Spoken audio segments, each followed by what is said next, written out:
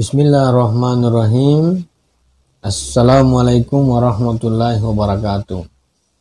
Di kesempatan ini kita masih bersama-sama membincang, mengkaji terkait dengan uh, nilai dasar perjuangan himpunan mahasiswa Islam yang sudah pertemuan ke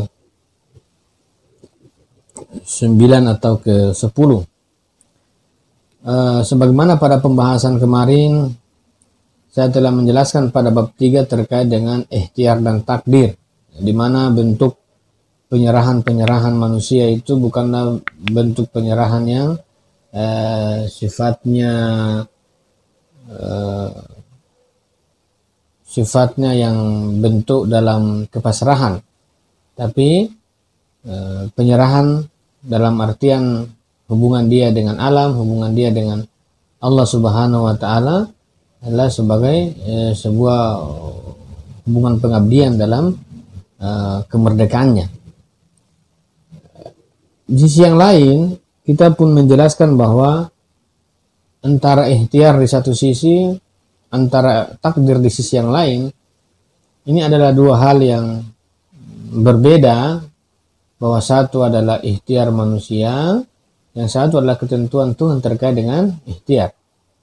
Nah, dalam irisan-irisan itu kita perlu uh, meletakkan diri kita dalam sebuah uh, kekuatan dalam uh, menerima takdir yaitu kita meletakkan diri kita dalam sebuah kepasrahan penerimaan total yakni ketulusan diri yang disebut dengan tawakal. Pada malam hari ini kita coba berbicara tentang ketuhanan yang Maha Esa dengan peri kemanusiaan. Ya, peri kemanusiaan. Di bab-bab sebelumnya kita sudah menduduki, mendudukan pembahasan-pembahasan bahwa tujuan manusia adalah uh, terkait dengan al-haq. Dan persoalan yang coba mau kita angkat yang saya coba ulangi adalah uh, mengungkap kebenaran itu dalam uh, ranah sosial, ranah sejarah dan alam semesta terkait dengan kebenaran yang hmm, di mana dalam kehidupan kita sehari-hari di kenyataan ini kebenaran dan keburukan itu adalah dua hal yang selalu bersama-sama. Dua hal yang e, muncul dalam permukaan yang di mana walaupun dalam doktrin kita mengatakan bahwa kebenaran itu nyata, tapi dalam realitas sejarah dan sosial tidak senyata dan tidak segamblang ungkapan itu. Dia selalu beririsan dalam sebuah kamuflase-kamuflase kehidupan dan sering kali e, muncul dalam ruang-ruang yang kita pun sulit membedakan apakah itu benar atau, ti atau tidak. Uh, oleh karena itu, uh, berkaitan dengan sebuah kebenaran ini, ada ruang yang menarik dalam penjelasan bab 4 ini berkaitan dengan pri kemanusiaan. Berkaitan dengan pri ke kemanusiaan. Uh, sejak awal Cak Nur mengatakan bahwa tujuan manusia itu adalah al-haq, ya, al-haq Eh, tapi kenapa dia mengungkap ada makna-makna tentang ketuhanan yang Maha Esa ini? Nah, tentu kalau kita melihat sebenarnya konsisten dalam arti al-haq. Tapi ada bahasa ketuhanan yang Maha Maha Esa. Ketuhanan yang Maha Esa dan pri kemanu kemanusiaan. Uh, arti ketuhanan yang Maha Esa dalam pembahasan NDP ini eh, tidak lain dan tidak bukan adalah sebuah rumusan kemanusiaan. Tidak lain dan tidak bukan adalah sebuah rumusan ke kemanusiaan. Eh, Almarhum Cak Nur mengatakan bahwa eh, ketuhanan yang Maha Esa adalah pikiran kita tentang sebuah maha yang benar. Eh? Jadi eh, ketuhanan yang Maha Esa itu adalah sebuah rumusan pemikiran terkait realitas yang dia sim yang dia simpulkan dalam teori uh, ontologi dalam teori uh, wujud itu pemikiran orang sampai pada sebuah penyaksian bahwa eh, ada sebuah ketunggalan di realitas ini. Yang kita katakan dalam bahasa pemikiran adalah Tuhan yang Maha Esa. Dalam bahasa agama dikatakan dengan al-haq. Makanya antara Tuhan dan antara Tuhan yang Maha Esa dan Al-Haq itu kan adalah sebuah irisan yang tidak mungkin, yang tidak serta-merta orang mau, mau gabungkan. Karena ada bahasa kesaksian asyhadu alla ilaha illallah. Tidak ada Tuhan selain Allah.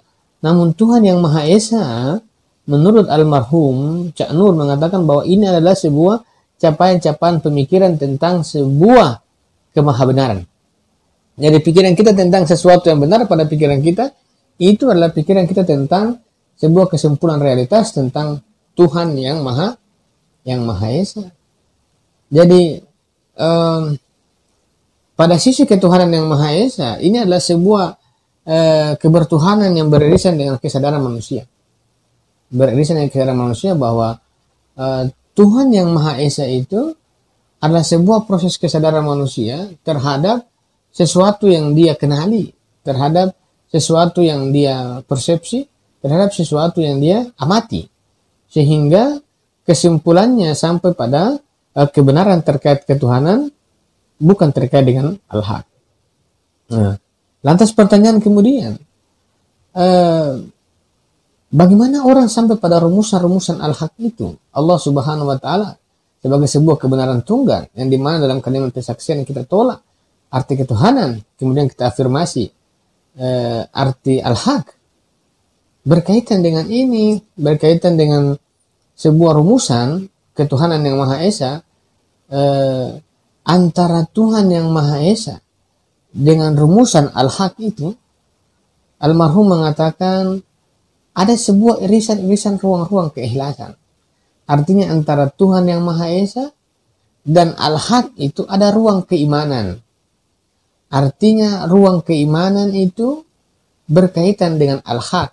Sedangkan ruang kesadaran pikiran manusia terkait ketuhanan yang Maha Maha Esa maka relasi antara pikiran Tuhan yang Maha Esa dan berkaitan dengan al-haq kebenaran tunggal itu adalah berkaitan dengan ruang keimanan. Keimanan terhadap al-haq itu dirumuskan dalam sebuah tindakan yang yang ikhlas. Maka yang dikatakan bahwa orang-orang yang berperi kemanusiaan adalah orang-orang yang di dalam dirinya itu sampai pada sebuah eh, pencapaian intelektual tentang Tuhan yang Maha Esa sehingga hatinya itu mencintai kebenaran al-haq. Kebenaran al al-haq pada realitas.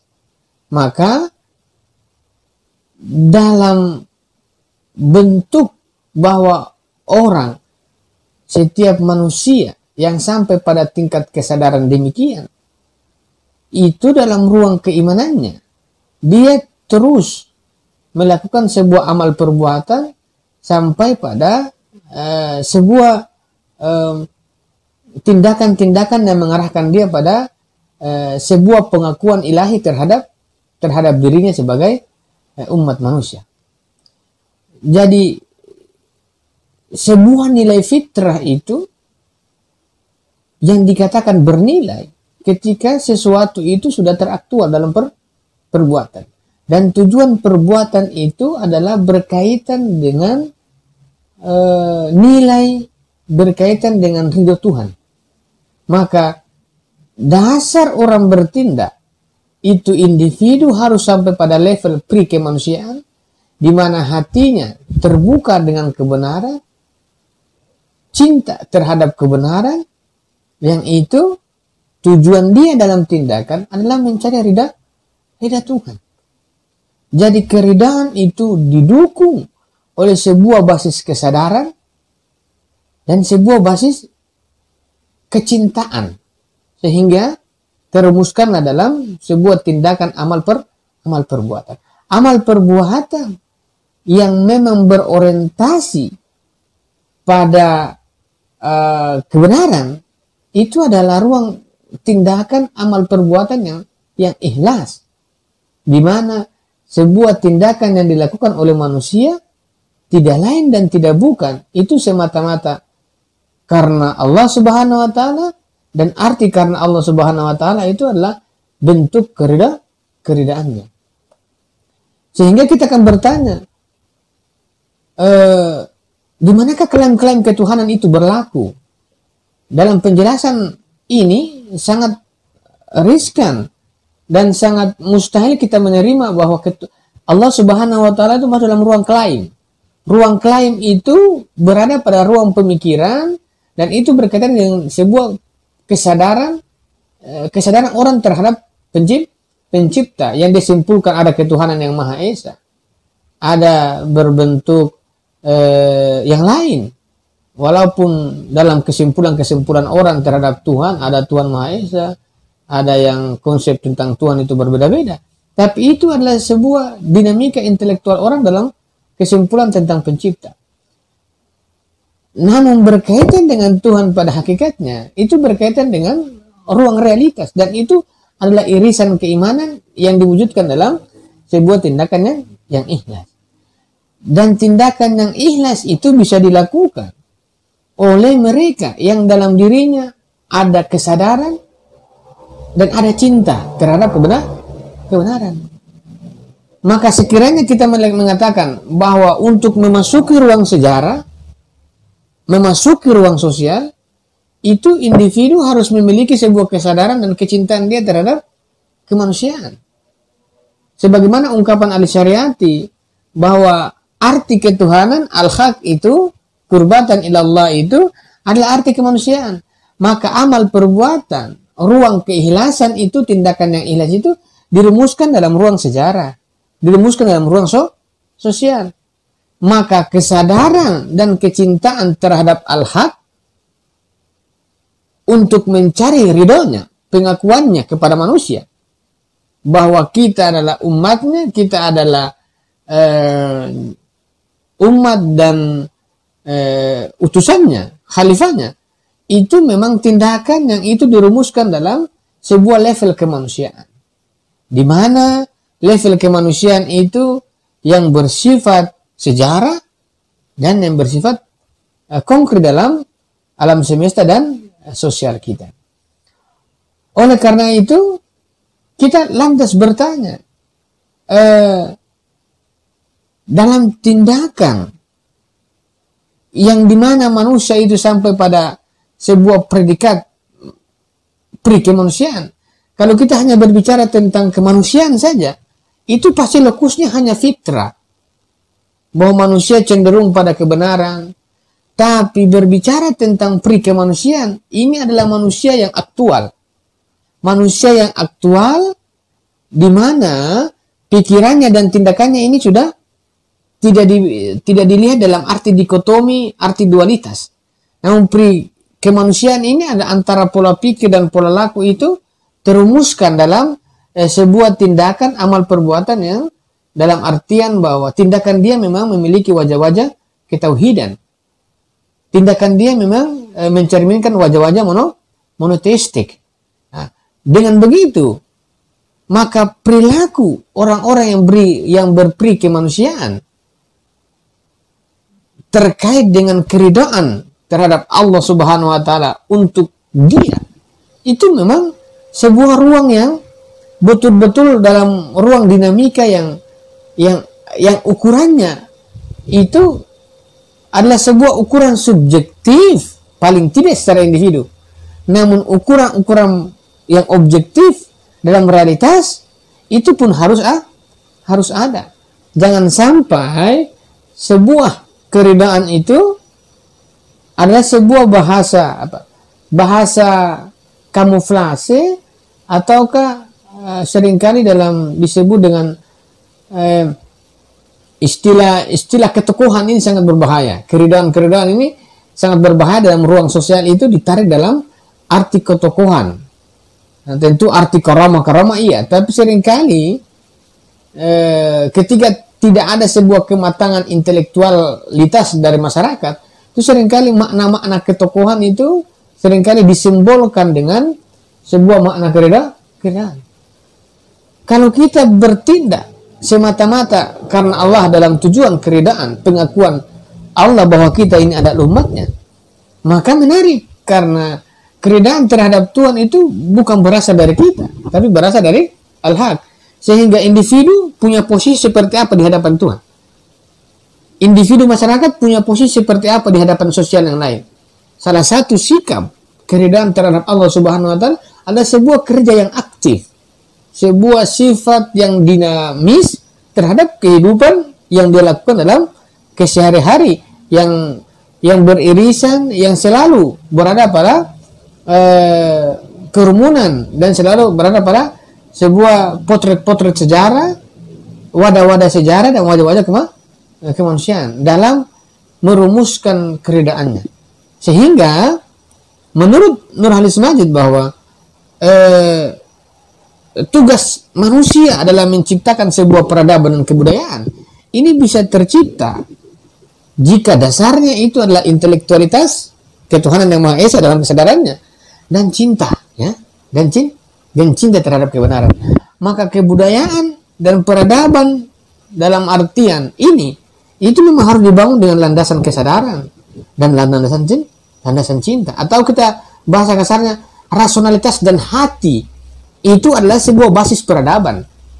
Dan peradaban itu dan kebudayaan yang dibangun itu tidak lain dan tidak bukan. Hanya semata-mata untuk diakui oleh Tuhan sebagai umatnya dan untuk diakui dalam pengakuan kereda keredaan dan tindakan yang ikhlas yang mencerminkan peri kemanusiaan dalam kehidupan kita bahwa kita adalah manusia yang berperi kemanusiaan bukan hanya sekedar manusia yang dalam lokus potensialitas namun manusia yang peri kemanusiaan dalam kehidupan yang betul-betul nyata itu menurut Nurhalis Majid adalah tindakan yang dalam wadah sejarah, wadah sosial dan kebudayaan kita itu perlu kita letakkan bahwa tindakan yang berperi kemanusiaan adalah tindakan yang adil. Bukan sekedar tindakan yang sifatnya moral, tapi tindakan yang yang adil. Jadi kalau kita mengatakan bahwa eh, sebuah keimanan kepada al-haq itu dirumuskan dalam keikhlasan, tindakan yang semata-mata untuk untuk mendapatkan ridha Tuhan dan ridha Tuhan itu dan keikhlasan itu dalam wujud yang objektif itu adalah keadilan. Maka keadilan ini adalah tindakan orang-orang yang dasarnya adalah sebuah kesadaran ketuhanan dalam dirinya dan sebuah kecintaan dia terhadap al-haq terkait dari Allah dan keikhlasan dia itu wujudnya adalah keadilan. Dan keadilan adalah menempatkan sesuatu pada tempatnya secara wa, secara wajar. Jadi keadilan itu bukan hanya sekedar nilai praktis, namun keadilan itu adalah sebuah cara pandang. Baik secara pemikiran dan secara tingkah, tingkah laku. Ini yang dirumuskan oleh almarhum Cak Nur Nur Majid. Bahwa kita harus melihat orang secara adil. Bagaimana cara melihat orang secara adil? Melihat dia sebagai manusia, porsinya manusia. Karena kebenaran yang kita katakan al-haq pada realitas itu Bagaimana cara mengungkapnya? Salah satunya adalah meletakkan keadilan dalam kehidupan bermasyarakat kita, sejarah kita, sosial kita, untuk melihat kebenaran dan e, kebatilan itu memang tidak bercampur baur dan terbedakan. Yang dimaksud dengan keadi e, kebenaran itu nampak. Kalau kita mengatakan eh, orang bisa menyembah pohon, kemudian kita katakan bahwa orang menyembah pohon tidak menyembah Tuhan itu adalah syirik, musyrik dan lain sebagainya. Pada penyembahan terhadap pencipta selain al-haq dengan bentuk batu, bentuk pohon, dan lain-lain. Itu dengan mudah kita mengatakan syirik dan lain sebagainya. Namun yang paling sulit Seringkali kita tidak sadari bahwa syirik yang paling nyata itu adalah syirik sosial. Syirik dalam ruang-ruang sosial, syirik dalam ruang-ruang sejarah. Dalam bentuk apa? Dalam bentuk me melihat manusia, dalam meletakkan manusia sebagai sebuah figur itu tidak dalam kacamata keadilan. Di mana dia sebagai manusia, namun sering kali kita menggantungkan harapan kita seakan-akan dia ini Tuhan. Sehingga kita menuhankan manusia yang kita keluar dari e, eksistensi ketuhanan ilah ilahi. Sehingga kita memindahkan arti al-haq kepada figur sosial kita, figur sejarah kita. Padahal itu hanya melihat dari kacamata keadilan. Kita pandang dia sebagai manusia sebagaimana kita. Kita memandang Nabi pada porsi kenabiannya, tidak bisa merendahkan dan tidak bisa melebih, melebihkan.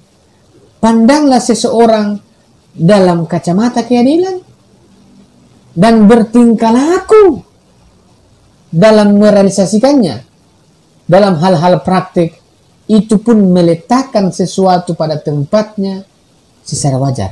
Inilah sebuah nilai dari ketuhanan yang Maha Esa dalam diri manusia yang dikatakan sebagai orang-orang yang berperi manusia manusia dari orang-orang yang berperi kemanusiaan adalah orang-orang yang di dalam dirinya dan tingkah lakunya itu wujud dan cara pandangnya berbasis keadilan. Cara pandang keadilan terkait dengan sesuatu yang dia pandang dan cara pan dan dan cara berkeadilan dalam realitas sosial dalam meletakkan setiap sesuatu yang dia sikap yang dia sikapi. Inilah dasar, inilah asas kebudayaan kita. Kalau kita mau membangun sebuah kebudayaan dan peradaban, dasar dalam teoritis kita adalah cinta dan hati, kesadaran dan hati, kesadaran dan cinta. Namun dalam praktek kebudayaan kita, itu harus ada ruang keadilan. Ruang keadilan ini yang paling menguat dalam melihat sebuah tabir yang tersembunyi antara kebaikan dan kepalsuan. Tuhan dan iblis. Baik dan bu. Karena yang paling riskan ini adalah eh, manusia yang dituhankan, bukan pohon yang dituhankan. Tidak. Bagi saya itu itu dengan mudah dikritisi. Tapi yang sering kali tersembunyi dalam relung batin kita. Itu sering kali kita tidak adil, dalam bersikap. Seringkali kita tidak adil dalam memandang sesuatu, sehingga apa? Manusia kita jadikan dia Tuhan yang bertransformasi menjadi itu menjadi Tuhan. Dalam kesadaran kita, kita yang mengatakan bahwa dia bukan Tuhan. Namun dalam praktek kehidupan kita, sering kali kebergantungan yang berlebihan itu mentransformasi sebuah arti ketuhanan itu dipindahkan kepada ruang manusia. Figuritas yang kita lihat itu dalam arti yang selalu dibuat-buat tanpa ada sebuah ruang kecelaan. Kita melihat manusia dalam sebuah figur yang berlebihan. Kita tidak melihat bahwa dalam kacamata keadilan bahwa dia sebagai manusia punya uh, apa namanya punya uh, kecenderungan dalam melakukan kesalahan minimal sekecil apa pun itu ada maka memposisikan manusia dalam arti yang berlebihan itu bisa menjadikan ruang ketauhidan dalam realitas al-haq itu sulit ditemukan sebagai sebuah bahasa takdir manusia. Dengan begitu, maka untuk mengetahui antara al-haq itu benar-benar terwujud dalam realitas harus memang ditemukan dalam keridaannya dan ridho itu berbentuk aspek subjektivitas kita dan aspek ob objektif. bahwa orang-orang yang sungguh-sungguh mencari kebenaran, orang-orang yang sungguh-sungguh untuk mengungkap kebenaran di realitas, memisahkan batil dan al-haq, buruk dan baik, itu adalah serius dalam meletakkan keadilan dalam kebudayaan, sejarah dan sosial kita. Mungkin itu saja yang bisa saya sampaikan. Mudah-mudahan bermanfaat pada kajian kita kali ini. Assalamualaikum warahmatullahi wabarakatuh.